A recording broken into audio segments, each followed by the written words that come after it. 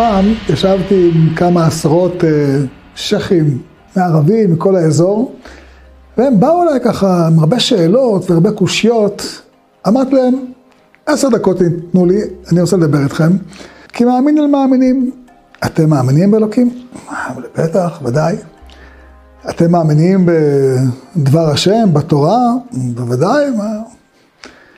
אמרתי להם, תראו, יש דבר פלא שלא קרה בשום מקום בעולם.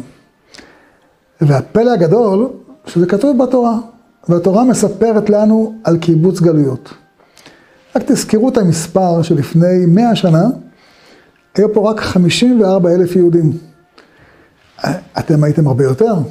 והנה, לפני 72 שנה כבר היו פה 650 אלף יהודים. לפני 53 שנה כבר היו פה 2.5 מיליון יהודים. עכשיו 6.5 מיליון יהודים. מי עשה את זה? הרי זה כתוב בתורה במפורש, ושב השם אלוקיך את שבותך וריחמך, ושב וקיבצך מכל העמים. אין נביא שלא מדבר על זה.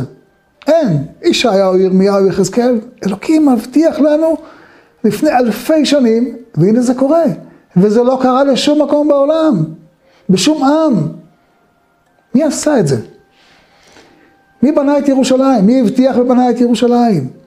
מי, מי הבטיח שהארץ תיתן פריה בעין יפה ועשה את זה? ומי הבטיח שננצח אתכם בכל המלחמות?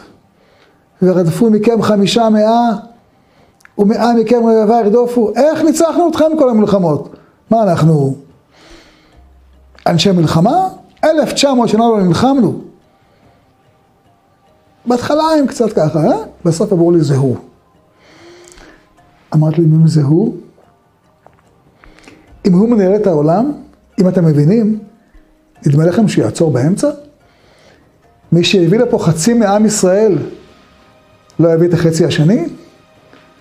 מי שבנה את ירושלים לא יבין את הלב שלה? ואתם? אתם תנסו לעמוד לו בדרך? יש לכם סיכוי בכלל? מי? מי יעמוד מול אלוקים וינצח? אין שום סיכוי. כדאי לכם ללכת יחד עם הקדוש ברוך הוא, כי מי שהולך איתו רק מרוויח. האמת היא שאחרי שאמרתי את זה להם, אמרתי אחר כך, צריך לומר את זה גם לעצמי, כל פעם לשים לב. הרי אנחנו פשוט מלאים, מלאים, נמצאים בתוך תהליך אלוקי פלאי. רק צריך לפתוח את העיניים. כך היה אומר הרבי מחב"ד, לפתוח את העיניים, את האוזניים ואת הלב, רק לראות את הפלא הגדול שאנחנו נמצאים בתוכו. חזקו ואמצו.